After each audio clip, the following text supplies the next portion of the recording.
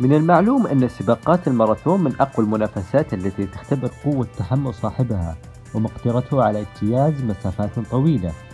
لكن عندما يكون الماراثون افتراضيا يزداد التحدي فيها بريقا ومنافسة.